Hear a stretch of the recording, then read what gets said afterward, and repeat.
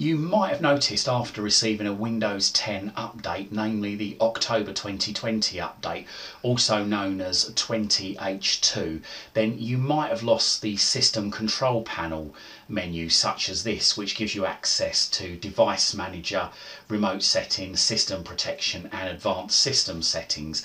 When you go into it, you'll find that it actually takes you to the Windows new version of the systems menu, which has uh, quite a bit in it, but uh, not as much as the old menu. So this guide shows you how you can get back to that classic system menu. So all you need to do is first of all go to control panel so you can do it whatever way you like but I'm going to click on the start button and then type control panel.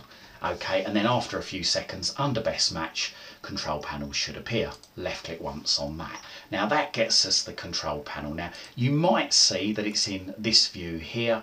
So if it is then click on the little arrow pointing downwards next to category and then move your mouse over large icons left click once. Okay and we've got this menu here so next thing we need to do is move our mouse over system. Now we'd normally click the left mouse button here but don't do that. Click the right mouse button and then you'll get this little menu appear and then all you got to do is move your mouse up to open left click once okay and there you go.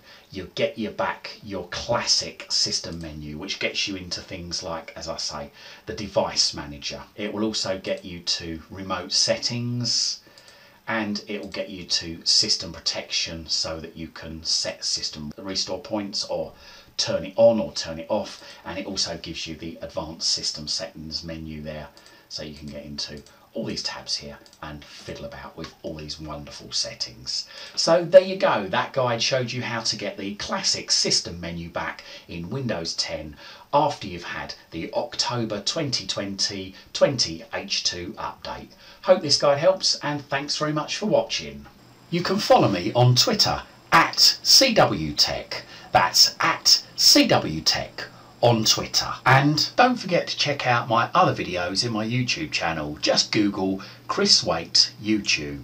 And don't forget to like and subscribe to my YouTube channel. Thank you for your support.